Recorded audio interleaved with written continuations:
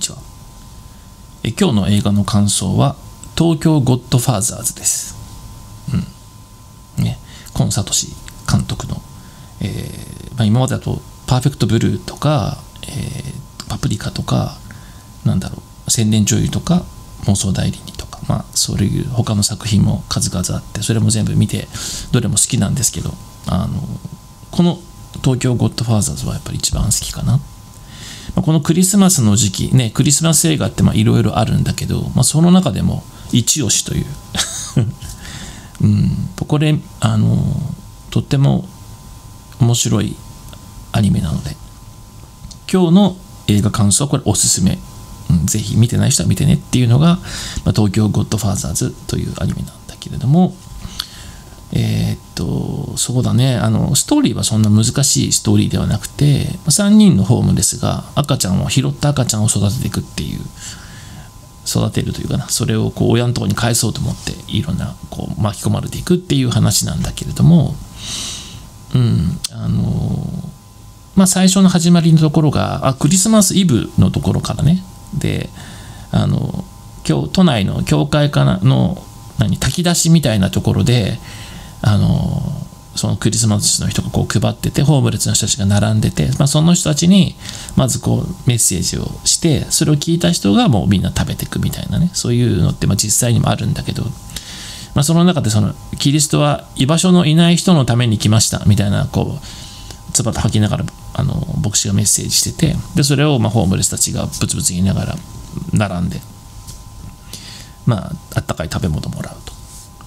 でまあその後にあの主人公が3人のホームレスで、まあ、1人が元競輪選手、まあ、自称なんだけど銀ちゃんっていうおじさんと元ドラッグクイーンの花ちゃんっていう、まあ、映画の中ではオカマオカマって呼ばれてるから、まあ、その当時はオカマって呼んでてよかったのかなわかんないけどの、えーおばあおじおじおばさんともう一個は家出少年のみゆきっていう女の子。この3人が、まあ、ホームレスの中でも3人でこうなんかこうつるんで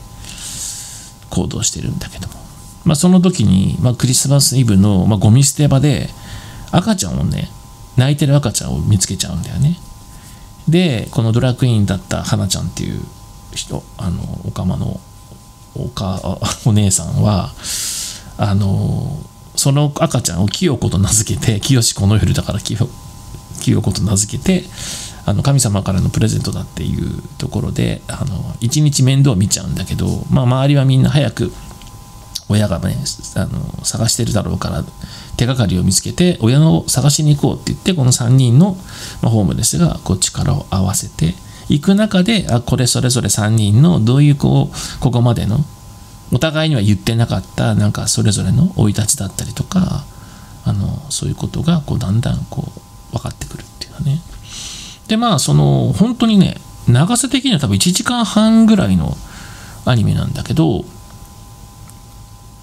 あの地味な設定の割にもどんどんこう引き込まれるから退屈じゃないしでこうすごいバッドなものとかこう感情をあえて揺さぶろうとねあの感動させようみたいなものもないしすごいセンスがいいよね。映像とかもあのなんだろう東京の夜っていう感じだから決してそのクリスマスというね時期にのこうキラキラしたその東京の街並みっていう輝かしさは全くなくて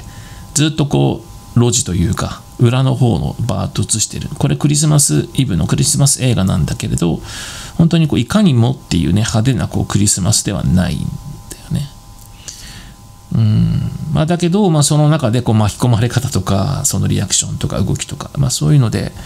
すごくこう丁寧にあの作られてる作品でうんまあとにかくこの3人のホームレスの人たちが清子と名付けた赤ちゃんをどうしていくのかというような話ですね。そうこの東京ゴッドファーザーズっていうのはあの作者の方も言ってるんだけど3人の名付け親っていうねあのジョン・ウェーンが出てた有名な西部劇のあのから着想を得たらしいのね。確かにこのその3人の名付け親も子供の頃たまたま見てて好きな映画だったからあの東京ゴッドファーザーズ見た時に、まあ、何かなんとなく似てるけどまさかね全然西部劇の要素がないからそこにつながりがあるとは思わないくらいだったんだけれども、うんまあ、その、まあ、3人の名付け合いもちょっと別で映画の感想喋りたいからあんま喋らないけど、まあ、どちらも一見そのクリスマスとは関係ないような人たちがこう巻き込まれていくというかな赤ちゃんをという存在を通してこう人生が変わっていくっていうのは共通してる話なんだよな。うん、そうね。だからまあなんだろうな。とにかくうん。もうネタもう見てほしいからあんま喋れないんだけどうん。とにかくねこうさっきも言ったけど無理に感動させようとか無理にこうドキドキさせようっていうのがあんまりない感じが。それでいてちゃんとはちゃめちゃ感とかあの笑いとかもあるし。それで、ね、最後のにさ舞い降りるところがあるじゃない。見た人。舞い降りて光が差すところあれもさあの一瞬なんだけど涙出そうだよね。感動するよね。一瞬。でもあれをさもうちょっと尺長くいろんなシーン入れたりさあの人情話入れちゃうと一挙にこうはいここ見てはいここ見てはいここ泣くところみたいになっちゃうと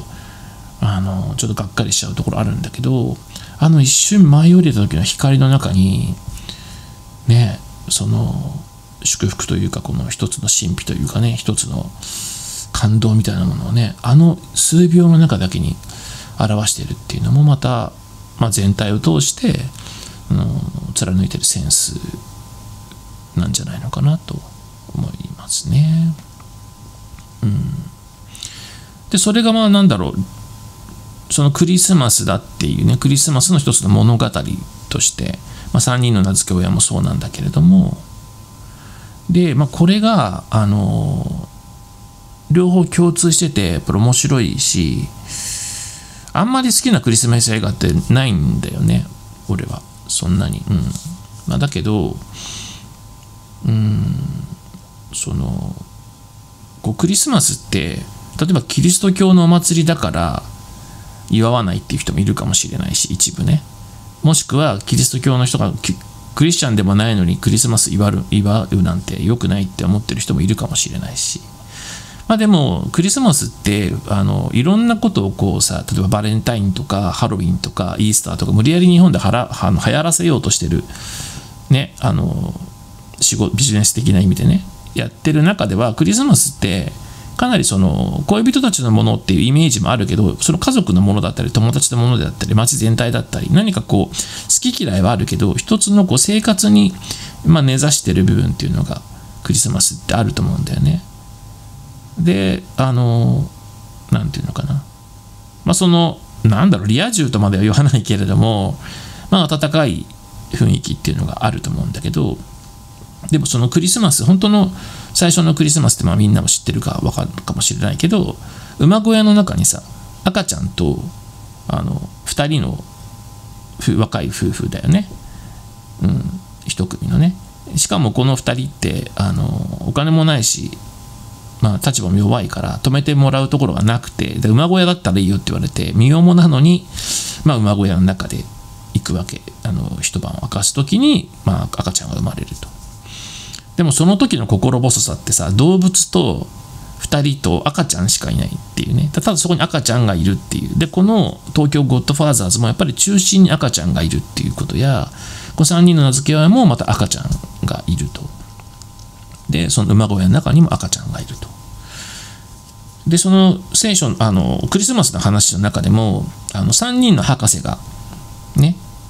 東からやってくる。のと羊飼いたちがやってくる。この2種類の人たちがさあのその馬小屋に来るわけ。他の人たちは誰も来ないんだよね。でこの東から来る三賢者3人の博士っていうのとこの東京ゴッドファーザーズのこう3人をこうかけて喋ってるところもあるんだけどこの3人の博士っていうのは異教徒たちね。ゾロアスキャッパー教とか他の国のあの人たちがそもそもあのキリスト教ではない人たちが3人こう先生術の人と博士たちが星を見てやってくる。そしてもう一つこの羊飼いたちっていうのはこれもまたこのゴッドファーザーズの、えー、ホームレスとかえー、三人の名付け親でいうこうならず者と同じようにあの羊飼いっていうのはペーターみたいなイメージがあるけど当時の羊飼いっていうのはあの町に合流できない人たちなんだよね、まあ、前科があったりとか、まあ、町の人たちとうまくやっていけない人たちが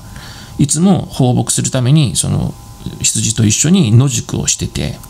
で何かの時だけ来てはいいんだけどそれ以外の時はもうずっとその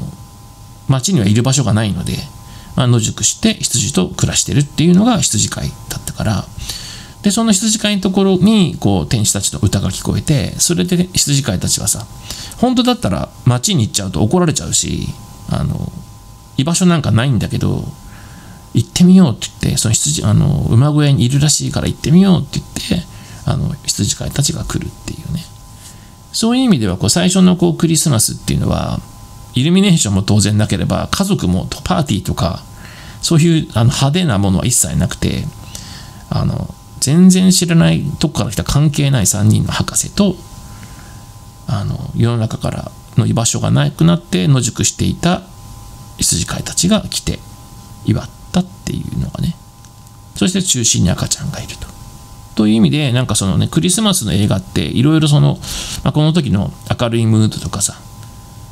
そういう楽しいムードとかのをこうクローズアップした作品っていうのはいっぱいあると思うんだけど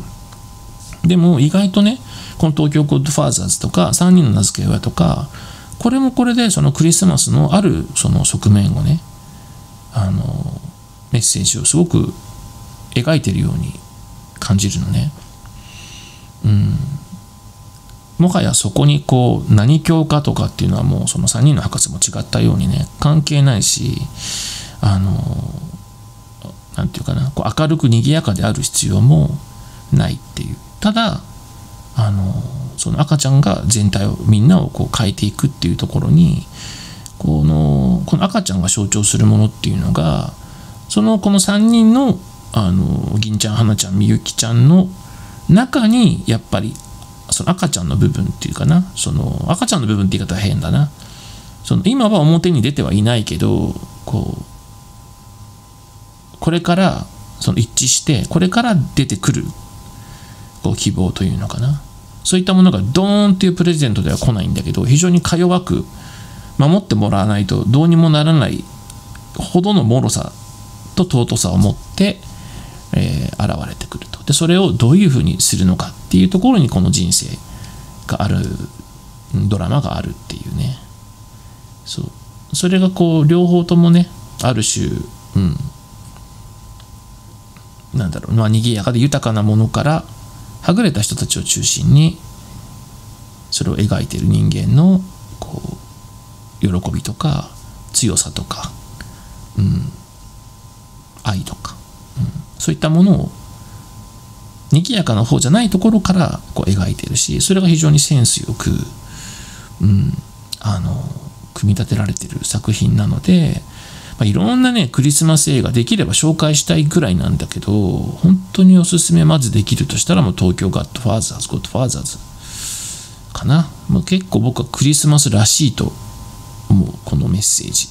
意外かもしれない。ただクリスマスをテーマに選んだっていうだけって何？たまたまそのシチュエーションとして選んだだけじゃなくて、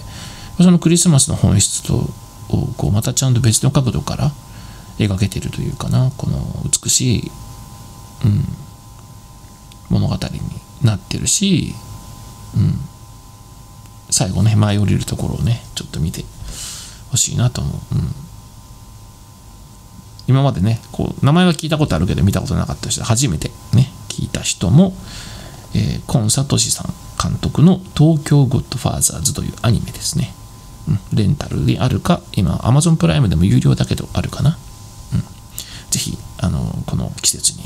見てみてください。では今日はこれから